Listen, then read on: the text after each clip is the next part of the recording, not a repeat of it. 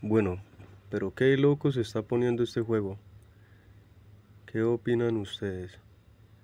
Stamber guys. ¿Será que es bueno que los niños tengan este contenido? ¿Que jueguen este juego? No sé. Parece un poco tosco para los chicos.